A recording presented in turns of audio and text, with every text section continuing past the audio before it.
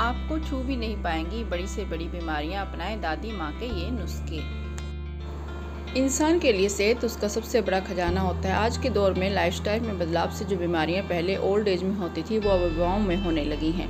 पुराने ज़माने में लोग डॉक्टरों के पास कम जाते थे और दादी के नुस्खों से ही ठीक रहते थे। ऐसा नहीं है कि ये नुस्खे काम करना बंद कर दिए हैं। हकीकत ये है कि हम उन्हें अब आजमा नहीं रहे आइए कुछ ऐसे नुस्खों के बारे में जानें जिनसे बड़ी से बड़ी बीमारियाँ भी छूमंतर हो जाती हैं।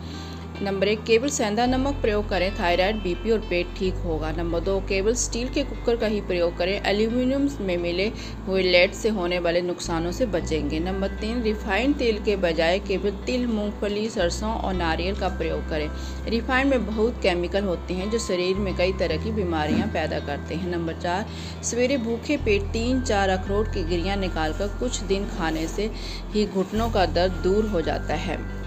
पाँच पे है, आलू का छिलका आपकी त्वचा पर ब्लीच की तरह काम करता है। इसे लगाने से आपकी काली पड़ी त्वचा का रंग साफ़ होता है। इसलिए आज के बाद छिलकों को कभी नहीं फेंकें, बल्कि इसका इस्तेमाल करा करें। नंबर छः पे है, प्याज के रस में नींबू का रस मिलाकर पीने से उल्टियाँ आना बंद हो जाती हैं। नंबर सात पे है, तेजपात के पत्तों को बारीक पीसकर हर तीसरे दिन एक बार मंजन करने से दांत जो हैं हमारे चमकने लगते हैं। नंबर आठ पे है, यदि नींद आने की शिकायत है तो रात में सोते समय अपने तलबों में सरसों के तेल की मालिश करें, जिससे हमें काफ़ी राहत मिलती है। नंबर नाइन पे है, नेचुरल मिनरल से भरपूर सेंधा नमक का सबसे रुसुद रूप है और ये सफ़ेद नमक से कई गुना बेहतर होता है और ये पाचन को बेहतर बनाने में मदद करता है। ऐसे में सेंधा नमक को नींबू के रस के साथ मिलाकर पीने से गैस की समस्या दूर होती है, डकार आते हैं और गैस पास करने में भी मदद मिलती है। साथ ही साथ, अगर ब्लोटिंग यानी पेट फूलने की समस्या हो तो भी इस नुस्खे को आजमा सकते हैं। हार्ट और ब्लड प्रेशर के मरीजों को इस नुस्खे को अपनाने से परहेज करना चाहिए, क्योंकि ऐसे मरीजों को नमक कम खाने की सलाह दी जाती है। नंबर टेन पे है, अदरक को पानी में उबाल कर और फिर शहद के साथ खाया जाए तो ये कफ गले में खराश और गला खराब होने की दिक्कत की बेस्ट रेमडी है।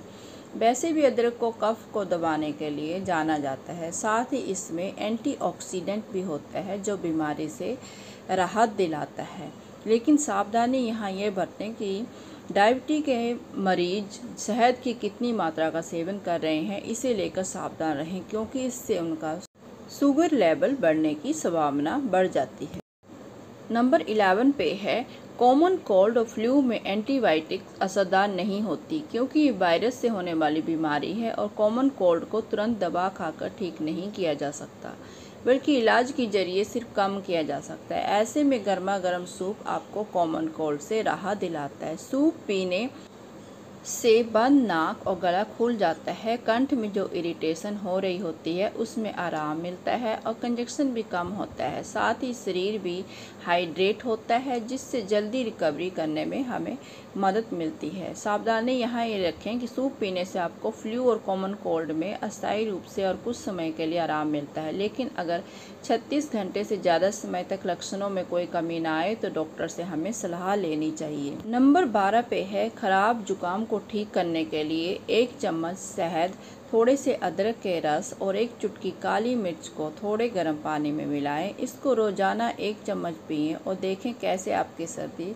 दूर भाग जाएगी। मेरा पेय है नंबर तेरह पे है, पेट दर्द को ठीक करने के लिए घरेलू उपाय है। कुछ अजवाइन और आधा चम्मच नींबू के रस में एक चुटकी नमक मिलाकर दिन में एक बार सेवन करना है। ज़्यादा तकलीफ़ हो तो हमें डॉक्टर से संपर्क करना चाहिए। नंबर चौदह पे है, बुखार को तुरंत कम करने के लिए दादी माँ द्वारा बताए गए घरेलू उपचार किए जाते हैं।